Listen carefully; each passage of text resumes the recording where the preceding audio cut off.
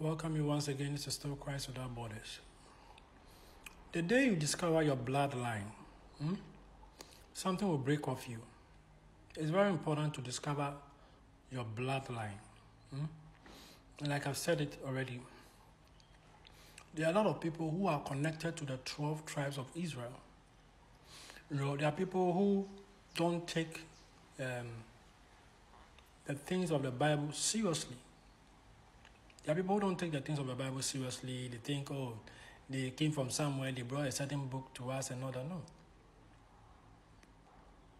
A lot of people are connected to the 12 tribes of Israel. Um, if you've been on this channel, I speak a lot about you reading the Bible with your own eyes.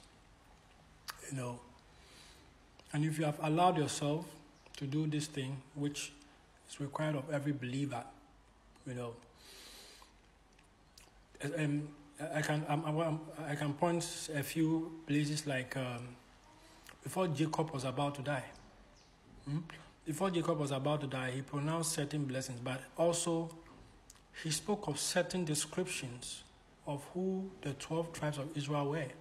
Each of those people, each of his 12 sons, there was something significant. There was a, there was a, there was a certain marker he used to describe them. Another place you can read, I think it's, it's in the book of Deuteronomy. No, um, before Jacob passed on, he, he, he said certain things, he made certain descriptions, he defined each of the 12 tribes of Israel, and they had, they, they had, they had, they had specific things that were markers that identified them. And a lot of you, if you, if you, um, if it's something you really want to find, you start you start you start looking into your bloodline. And some of you will be able to identify some of these traits. You'll be able to identify certain things that keep happening, you know, that, that keeps happening from generation to generation in your own bloodline, and you'll be able to identify that no. And a lot of times, the reason why I keep encouraging people to read the Word of God is that as you are going through the Word, as you are reading the Word, if this is what you want to do, you want to discover which, which of the 12 tribes you are part of. If that is, is that, that, that is your focus, if that is what is on your heart, as you are going through the Word of God, the very moment you come across that scripture, that line, that phrase, that, that verse, look, something is going to vibrate inside of you to know that, ah, this, this, this, this, this thing seems, seems like this is what is happening in my family. I've, I've seen this pattern in my family. You, you, listen, there's a way God uses the word of God to bring things to to speak to you. You know that ah, the way He's defining these people. I think this is where I come from. Hmm? Yes, to discover this, you can't do it outside of God. It's God. You have to be in connection. You have to be in sync with God, like I said already. And I keep, I've been here so many times, encourage and urge people to read the Word of God because there are certain messages God wants to bring to you. There are certain revelations God wants you to know. You know, there are people who don't take the things of God seriously because they think actually I'm just somebody. I'm just doing what I do. No. The day you discover which of the 12 tribes of Israel you belong to, something will shift in your mind. Something will break off you. Hmm? I keep saying this. So one of the some of the places you can look at is how Jacob defined each of all his sons and the kind of blessings he gave to them before he passed on. Another area you can look at is what Joseph said. Before Joseph passed on, he also did a similar thing. He also said similar thing. He also said and defined and said, he spoke at length and said certain things. You'll be able to also, from from Jacob's, before Jacob passed on, before Joseph passed on, he said a few things. Another place you can also read around in the book of Deuteronomy, uh, you know, before Moses passed on, Moses also repeated some of the characteristics, some of the things that defined each of the 12 tribes of Israel.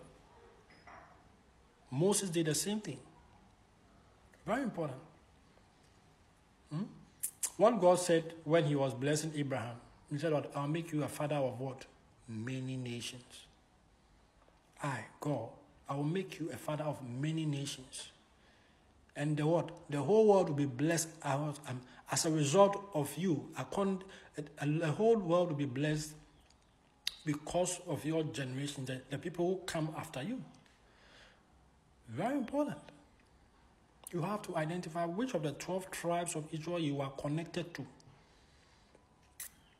If that's your determination, if that is what is on your heart, God will reveal to you because He knows and He understands that when you discover who and which of the 12 tribes of Israel you are part of, something will change in your mind. Something will change in your attitude. Something will change in how you, you deal with Him. Something will change in your relationship with Him. Very important.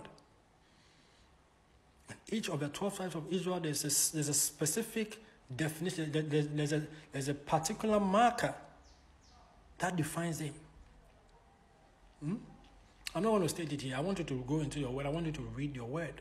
I've said it so many times and I've, I've used a lot of words, a lot of examples. I've received a lot of messages to urge and encourage people to go in your word and read your Bible. Hmm? One of the things you have to do is ask questions. You know, ask questions from your mother, your father. If your grandparents are alive, are alive, go to them and ask questions. Go to them and ask the history of your family. A lot of you have not done that homework.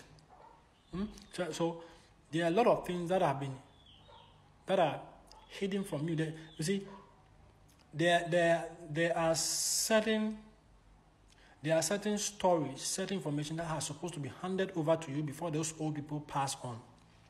I'm telling you. There are certain information that is supposed to be told you. Look closely. You see, the way before Jacob passed on, he said this, you say that, you say that. The same way Joseph is passing on. He said this. He said that. He said that. It's very important. If you have grandparents in your home, go to them and ask them, Grandma, where are we from? Where is my hometown? Where are we from? Where, where, where, where did the old people say we come from? Find out where you are coming from. A lot of, you see, a lot of the youth of today have not, don't know that information and for some reason the older generation too have not that um, nothing has pressured them for them to hand over that information. But in the days of old it was a requirement that the old generation always always carry forward. It was a requirement that the old generation the grandparents always told their children what who they are where they are from where they are their bloodline originated from, where they went through, where they went through. That story has to be told to the next generation.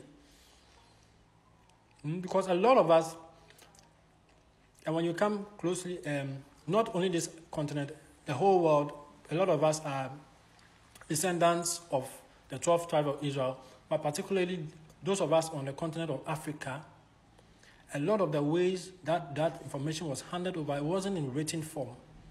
They were stories, fairy tales that were said and were told to the next generation. And the next generation also told to the next generation. And if you read your Bible there, you, you, you sometimes God makes certain descriptions that what you are, you are supposed to tell your you are supposed to tell the generations unborn how God did this, how God did that. You are supposed to hand this information to the next generation. Let them keep continuing. Let them keep carrying it forward. So that what they don't forget where they are from. But as time went on, there's some there was some kind of break and disconnect, you know, to where there are people eh, who don't even know the story of their bloodline. You are supposed to know the story of your bloodline. You have to go to your father, go to your mother. If they can't tell you, go to your grandparents and ask them, where are we from? Grandma, where are we from? Where do we come from? Where is our hometown? How did we come there? You have to go and ask those things because it you see, once you have access to that information, and you go into the Word of God and you are reading, certain things are going to synchronize, certain things are going to connect. I'm telling you. Thank you.